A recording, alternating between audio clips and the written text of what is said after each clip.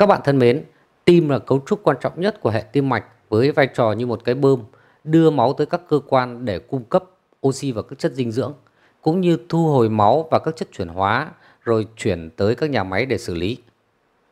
Hoạt động này diễn ra lặp đi lặp lại có chu kỳ và vì thế hệ tim mạch về mặt chức năng còn được gọi là hệ tuần hoàn và tim là cấu trúc trung tâm của hoạt động tuần hoàn này. Trong phần kiến thức hôm nay, chúng ta sẽ mô tả các đặc điểm giải phẫu của tim, trong đó có đặc điểm hình thể trong để hiểu rõ hơn về vai trò của tim đối với hoạt động của các vòng tuần hoàn.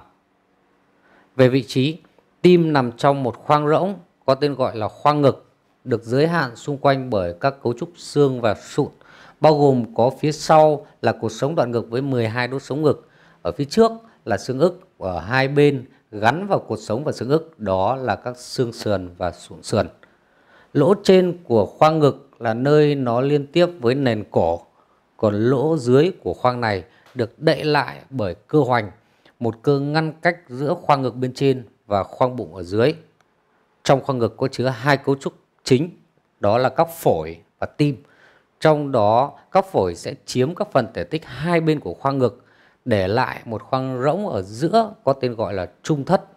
Trung là ở giữa, thất là buồng. Một buồng nằm ở giữa lồng ngực, nơi chứa tim và nhiều cấu trúc quan trọng khác. Để hiểu rõ hơn về vị trí của tim trong trung thất, chúng ta sẽ có một mô tả về giới hạn và sự phân chia của trung thất. Bằng một mặt cắt đứng dọc qua trung thất. Ở phía sau chúng ta sẽ thấy hình ảnh mặt cắt qua các ờ, đốt sống đoạn ờ, ngực. Chúng ta có thân các đốt sống ngực từ 1 tới 12 đốt sống ờ, ngực thứ nhất, đốt sống ngực thứ hai, phía sau là mỏng gai 4, 5, chúng ta 6, chúng ta có đốt sống ngực 7, 8, 9, 10, 11 và thấp hơn nữa chúng ta sẽ có đốt sống ngực thứ 12. Ở phía trước sẽ là xương ức bao gồm có thân xương ức ở dưới liên tiếp với cán xương ức bên trên. À, chúng bẻ gập góc với nhau để tạo à, thành một à, cấu trúc có tên gọi là góc ức. Ở bên trên là lỗ trên lồng ngực được giới hạn ở hai bên bởi các xương sườn thứ nhất và bên dưới đó là cơ hoành, một cấu trúc cơ ngăn cách giữa khoang ngực bên trên với khoang bụng ở bên dưới. Như vậy giới hạn của trung thất khoang rỗng nằm ở giữa lồng ngực bao gồm có phía sau là cột sống đoạn ngực, phía trước là xương ức và các sụn sườn gắn hai bên xương ức. Ở bên trên là lỗ trên lồng ngực, ở dưới là cơ hoành và ở hai bên đó chính là các mặt giới hạn lên trung thất được gọi là mặt trung thất của phổi và bọc ở bên ngoài chúng ta có phần trung thất của màng phổi. Trung thất lại được chia nhỏ thành các khoang rỗng, mỗi khoang rỗng lại chứa một nhóm các cấu trúc khác nhau. Một mặt phẳng ngang qua góc ức tương ứng với ở phía sau là khe giữa đốt sống ngực 4 và 5. Chúng ta có đốt sống ngực 4 và đốt sống ngực 5. Chia trung thất thành hai phần là trung thất trên và phần còn lại ở dưới đó là trung thất dưới. Trong đó trung thất dưới sẽ chứa tim và màng ngoài tim, một à, phần không gian ở giữa trung thất dưới. À, chúng ta có vị trí của tim và màng ngoài tim và phần không gian này có tên gọi là trung thất giữa. Trong đó khoang rỗng ở trước tim và màng ngoài tim đó là trung thất trước. Và phần khoang rỗng nằm ở sau tim và màng ngoài tim đó là trung thất sau. Chúng ta có hình ảnh của giới hạn trung thất với các phần trung thất trên, trung thất trước, trung thất giữa và trung thất sau và chúng ta có thể mô tả giới hạn của riêng từng trung thất. Ví dụ như trung thất trên sẽ được giới hạn ở hai bên vẫn là mặt trung thất của phổi và màng phổi ở phía sau sẽ là các đốt sống ờ, ngực từ ngực 1 đến ngực 4. Ở phía trước là cán xương ức và bên trên là lỗ trên lồng ngực. Còn bên dưới nó là mặt phẳng ngang qua góc ức và tương ứng với khe đốt sống ngực 4 và 5. Tương tự như thế chúng ta có thể mô tả giới hạn của trung thất sau. À, một à, phần trung thất được à, giới hạn ở phía sau bởi các đốt sống ngực từ đốt sống ngực 5 cho tới đốt sống ngực thứ 12. Ở phía trước thì là tim và màng ngoài tim. dưới vẫn là cơ hoành, trên là mặt phẳng ranh giới giữa trung thất trên và trung thất dưới. Và ở hai bên thì vẫn là phổi và màng phổi ở mặt trung thất. Như vậy, chúng ta đã chỉ ra được chính xác vị trí của tim. Tim là cấu trúc nằm ở trong trung thất giữa. Tuy nhiên, mặc dù tim nằm ở trong trung thất, một buồng nằm ở giữa lồng ngực và nó còn nằm ở trong trung thất giữa, nhưng tim không thực sự nằm ở chính giữa. Nó nằm lệch sang bên trái với một trục của nó chích từ trên xuống dưới sang trái và ra trước. Và vì thế đỉnh của tim cũng chính là phần của tim nằm ở thấp nhất, lệch sang bên trái nhất và ở trước nhất nó áp sát thành trước của lồng ngực tại vị trí khoang gian sườn 5. Chúng ta có khoang gian sườn 1, 2, 3, 4, 5. Khoang gian sườn 5 ở trên đường giữa đòn bên trái hay à, còn à, một à, mô tả dựa trên một cấu trúc khác đó là núm vú đường vú trái. Về đặc điểm hình thể ngoài, tim được mô tả là một ờ, khối cơ rỗng ờ, hình tháp với ờ, bốn mặt, một đáy và một đỉnh. Để mô tả rõ về các mặt của tim cũng như liên quan của các mặt của tim với các cấu trúc lân cận thì chúng ta sẽ xem hình ảnh một sơ đồ bề mặt của tim. À, chúng ta có một khối cơ rỗng hình tháp.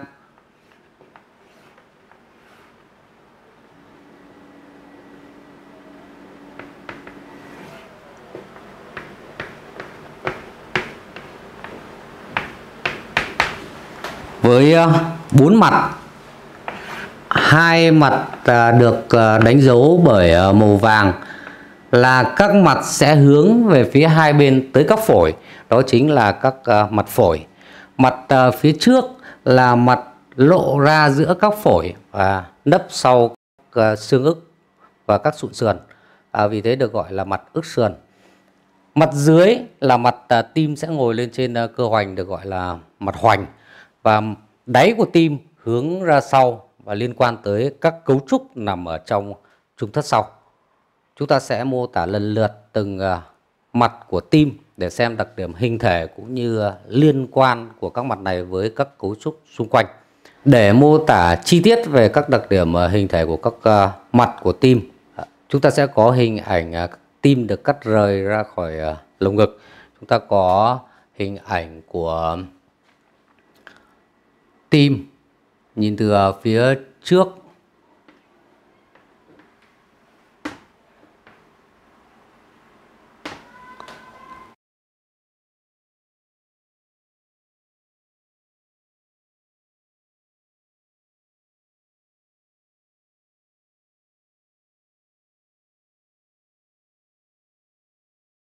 Ở tâm thất bên ờ, trái, chúng ta sẽ thấy hình ảnh của động mạch uh, chủ.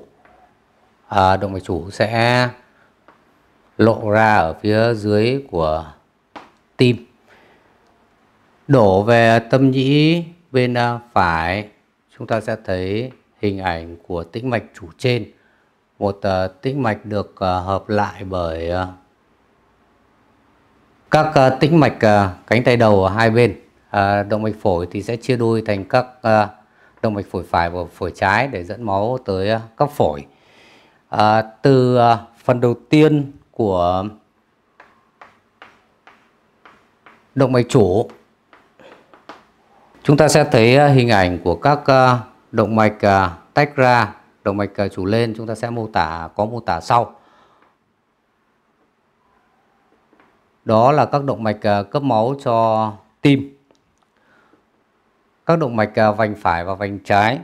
Từ đoạn à, thứ hai của động mạch chủ là quai động mạch chủ, chúng ta sẽ thấy à, hình ảnh của các mạch máu lớn tách ra để tới nuôi dưỡng cho các cấu trúc ở đầu cổ và chi trên bao gồm có ở bên phải đó là thân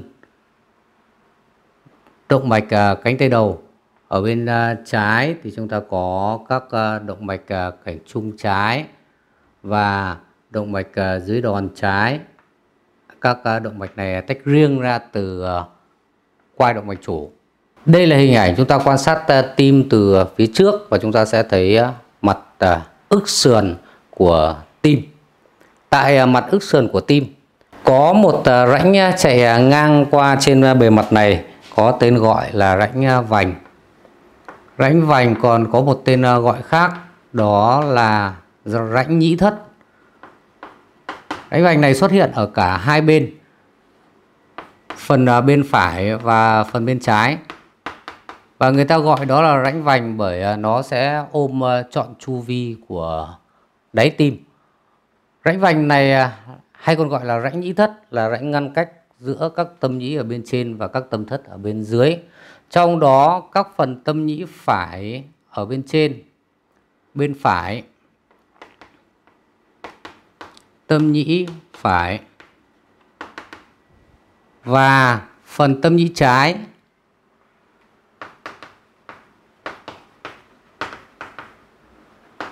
ở bên trên rãnh vành thì bị che lấp phần lớn bởi các mạch máu lớn, bao gồm có thân động mạch phổi và phần lên của động mạch chủ, cộng với việc xuất hiện các túi cơ phình ra từ các tâm nhĩ, được gọi là các tiểu nhĩ.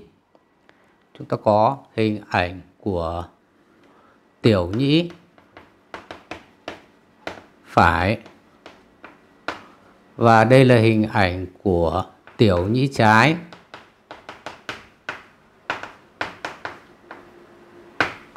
Các um, thành phần mạch lớn này cùng với cả các tiểu nhĩ che lấp phần lớn các tâm nhĩ nên nếu nhìn từ trước thì chúng ta sẽ chỉ nhìn thấy một phần nhỏ của các tâm nhĩ phải và tâm nhĩ trái ở hai bên ở phần dưới rãnh vành là phần tâm thất có một rãnh ngăn cách trên bề mặt giữa các tâm thất phải và trái. À, tên gọi của rãnh là rãnh gian thất trước. Và đây cũng chính là nơi mà có một uh, nhánh mạch uh, nuôi dưỡng cho tim tách ra từ uh, động mạch uh, vành uh, trái nằm ở trong đó cùng với cả các tĩnh mạch đi kèm. Và rãnh này chính là ranh giới trên bề mặt của các uh, tâm thất phải và trái.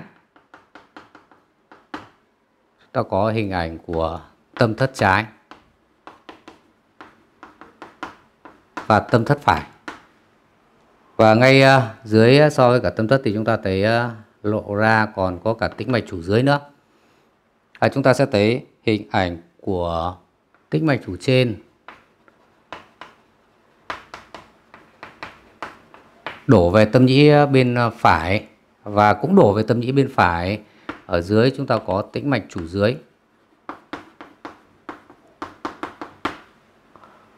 đây là đặc điểm về mặt à, hình thể của mặt à, ức sườn. À, đây là hình ảnh của thân động mạch phổi.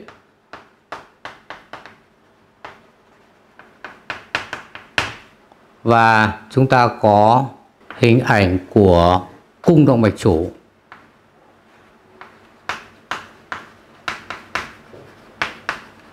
Các à, thành phần mạch lớn đi ra từ tim. Về mặt liên quan thì mặt ức sườn là mặt liên quan tới tấm xương ức và các sụn sườn. Và tấm xương ức này bao gồm có phần thân xương ức à, góc ức là ranh giới giữa phần trung thất trên và phần uh, trung thất dưới. Tim thì uh, nằm ở chìm ở phía dưới trong uh, trung thất dưới. Nó sẽ nấp sau uh, thân xương ức và các sụn sườn có liên quan bao gồm có các sụn sườn từ 3 cho tới các sụn sườn 6 và chúng ta thấy vị trí của đỉnh tim thấp nhất là nằm ở trong ờ, khoang gian sườn 5 giữa các xương sườn và sụn sườn 5 với ờ, xương sườn và sụn sườn 6. Tuy nhiên, trước khi liên quan tới tấm ức sườn này, thì tim còn liên quan tới các cấu trúc chứa đựng ở trong trung thất trước đây là hình ảnh tim và màng ngoài tim liên quan với trung thất trước trước khi liên quan tới thân của xương ức trên ờ, mặt cắt đứng dọc. Và trong trung thất trước có một thành phần đựng trong đó kéo dài từ trên ờ, trung thất trên chạy xuống dưới. Đây chính là di tích của một ờ, cấu trúc ờ, bạch huyết. đó là tuyến ức. Di tích của tuyến ức nằm ở trong uh, trung thất uh, trên một phần nằm trung thất trên và nằm ở trong cả trung thất uh, trước chúng ta có hình ảnh của di tích tuyến ức và phần còn lại nó sẽ chứa mô liên ờ, kết Và khi ờ, mô tả về trung thất trước thì chúng ta sẽ còn thấy một số thành phần ờ, mạch có liên quan nữa. Mặt thứ hai có tên gọi là mặt hoành, tương ứng với cả mặt dưới. Hướng xuống dưới và ngồi lên trên bề mặt của cơ hoành, đặc biệt là ngồi lên trên phần trung tâm gân của cơ hoành. Nó sẽ liên quan tới cơ hoành và qua cơ hoành thì liên quan tới hai cấu trúc nằm ngay dưới các vòm hoành phải và trái. Đó là gan ở bên phải và dạ dày ở bên trái. Mặt này liên quan với cơ hoành và qua cơ hoành liên quan tới gan và dạ dày. Và để quan sát các đặc điểm hình thể của mặt này thì chúng ta sẽ có một hình ảnh nhìn tim từ dưới lên trên và từ sau ra trước. À, chúng ta sẽ có hình ảnh của các uh, tâm thất với à, cũng à, một à, rãnh ngăn cách các tâm thất phải và tâm thất trái. Chúng ta có hình ảnh của các phần tâm nhĩ, phải và trái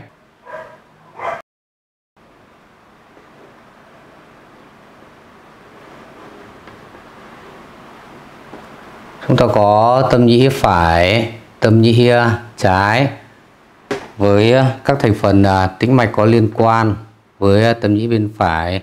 Thì đấy là nơi mà các tĩnh mạch chủ trên và chủ dưới đổ về đó. Trên bề mặt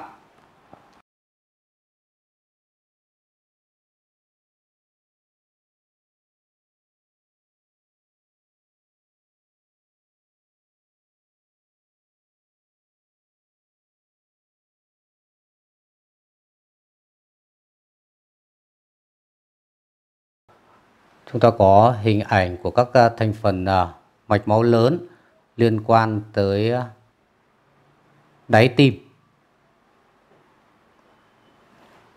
Và từ quay động mạch chủ thì chúng ta cũng sẽ thấy tách ra các cấu trúc mạch. Chúng ta có các động mạch dưới đòn trái và động mạch dưới đòn trái và động mạch cảnh trung trái và ở bên à, phải thì chúng ta sẽ có một à, thân lớn hơn. Tách ra thành à, động mạch dưới đòn phải và động mạch cảnh trung phải. Đó là thân cánh tay đầu phải. Đây là hình ảnh chúng ta quan sát thấy mặt hoành của tim và đáy tim. Ở mặt hoành của tim bao gồm có trọn vẹn mặt hướng xuống dưới của các tâm thất và một phần nhỏ của các tâm nhĩ phần uh, diện tích gạch chéo. Đây chính là phần của các uh, tâm nhĩ thuộc mặt hoành của tim. Và vì thế à, tại mặt hoành của tim chúng ta cũng thấy sự xuất hiện của rãnh vành. Và người ta gọi đó là rãnh vành là bởi một uh, rãnh ôm uh, trọn chu vi của tim. Như vậy phần uh, bên trên rãnh vành của mặt hoành là một phần nhỏ của các ờ, tâm nhĩ. Bao gồm có tâm nhĩ ờ, phải và tâm nhĩ trái. Tâm nhĩ phải và tâm nhĩ trái. Giữa các tâm nhĩ thì có một ờ, rãnh ngăn cách có tên gọi là rãnh gian nhĩ. Rãnh này thì phần lớn nằm ở đáy của tim. Còn phần tâm thất ở bên dưới cũng có sự xuất hiện của một rãnh ngăn cách, ranh giới trên bề mặt của các tâm thất, đó là rãnh gian thất sau. Cũng ờ, có một ờ, thành ờ, phần mạch sẽ chạy vào trong này nằm ở trong này. Và thành phần mạch đó là phần tận hết của động mạch vành phải sau khi chạy trong rãnh vành từ trước sang phải và rồi ra sau nằm ở trong uh, rãnh này và các uh, tĩnh mạch cũng sẽ nằm cùng với cả động mạch ở trong rãnh gian thất sau. Hai mặt còn lại uh, trên uh, sơ đồ này là những uh, mặt được uh, gạch à, đánh dấu. Đó là các mặt hướng về các phổi và áp vào các phổi được gọi đó là mặt phổi. Trong đó mặt phổi trái là phần của tâm thất trái hướng sang bề mặt của phổi mặt trung thất của phổi và đè vào mặt trung thất của phổi để tạo thành à, một à, ấn tim. Một à, hố lõm có tên gọi là ấn tim. Và hố lõm này thường sâu hơn so với cả cũng ấn tim bên phổi phải. Do mặt phổi phải của tim đè vào và ấn tim bên phổi trái thì thường được gọi là hố tim. Các cấu trúc ờ, lõm này sẽ áp vào và đậy lên trên bề mặt của các mặt phổi trái và mặt ờ, phổi phải trong đó mặt phổi trái sẽ là mặt trái của tâm thất trái. Trên hình ảnh này chúng ta quan sát tới ờ, tâm thất trái. Còn ấn tim ở mặt trung thất của phổi bên phải thì sẽ đậy vào bề mặt của tâm nhĩ phải. Trong đó phần lớn tâm nhĩ phải sẽ thuộc đáy tim. À, đây là hình ảnh đáy tim. Và một phần của tâm nhĩ phải ở dưới sẽ trở thành à, một mặt nhỏ của tim hướng sang phổi bên phải được gọi là mặt phổi phải. Như vậy chúng ta có hai mặt phổi là các mặt của tim đè vào các mặt trung thất của phổi à, tạo nên các cấu trúc được gọi là ấn tim mặt phổi trái là tâm thất trái còn mặt phổi phải là tâm nhĩ phải, phần tâm nhĩ phải ở bên dưới. Có một liên quan giữa các mặt phổi với các cấu trúc xung quanh ngoài việc nó áp vào các ấn tim. À, các mặt phổi này còn liên quan tới à, một cấu trúc thần kinh. Đây là một trong à, các à, nhánh của đám rối cổ. À, chúng ờ, được hình thành ở trên cổ, sau đó chạy xuống dưới, lách qua giữa các ờ, động mạch và tĩnh mạch ở dưới đòn. Rồi chạy vào giữa phổi và các cấu trúc ở trong trung thất. À, thần kinh này luôn bắt chéo ở phía trước so với cả cuống phổi để rồi sau đó sẽ chạy giữa màng phổi và màng ngoài tim để hướng tới cơ hoành, phân nhánh, chi phối vận động và nhận cảm giác cho cơ hoành đây là hình ảnh của thần kinh hoành phải. Tương tự, chúng ta sẽ thấy hình ảnh của thần kinh à, hoành trái. Ở khi à, nó chui vào trong trung thất thì à, nó sẽ nằm ở giữa các cấu trúc. Ở trong trung thất với mặt trung thất của phổi và màng à, phổi, chúng ta có hình ảnh của thần kinh, hoành, trái. Nó sẽ phân nhánh à, chi phối vận động và cảm giác cho cơ hoành. Như vậy chúng ta sẽ thấy rằng là các thần kinh hoành phải và hoành trái này à, sẽ đều à, lách giữa hố tim với các mặt phổi của tim À, và khi chúng ta mô tả liên quan của các mặt phổi này thì chúng ta sẽ mô tả ngoài việc nó liên quan tới hố tim thì các mặt phổi còn liên quan tới các à, thần kinh hoành, mặt phổi phải thì liên quan đến thần kinh hoành phải và mặt phổi trái thì liên quan tới thần kinh hoành trái. Có một lưu ý về mặt đường đi của thần kinh hoành đó là các thần kinh này luôn chạy ở phía trước hơn so với cuống phổi để tiếp tục chạy xuống dưới giữa tim và phổi à, trước khi tới cơ hoành. Mặt còn lại của tim đó là đáy tim và đáy tim chính là phần lớn bề mặt của tâm nhĩ hướng lên trên và ra sau. Trong đó phần tâm nhĩ phải thì thường nằm lệch hơn sang bên phải và đè vào phổi phải. Và cũng tương tự như thế, phần tâm nhĩ phải này liên quan với cả thần kinh hoành trước khi nó liên quan tới mặt trung thất của phổi. Đây là phần tâm nhĩ thuộc đáy tim. Phần tâm nhĩ ở bên dưới là phần tâm nhĩ sẽ tạo nên mặt phổi bên phải. Giữa các tâm nhĩ chúng ta đã chỉ ra có một cấu trúc uh, có tên gọi là rãnh gian nhĩ. Và ở mặt đáy tim này chúng ta sẽ thấy các tâm nhĩ là nơi mà các tĩnh mạch đổ về bao gồm có các uh, tĩnh mạch uh, chủ trên và tĩnh mạch chủ dưới.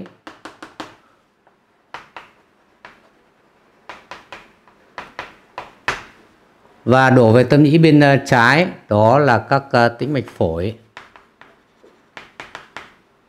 Chúng ta có hình ảnh của các tĩnh mạch phổi ờ, trái trên và dưới và các tĩnh mạch phổi phải.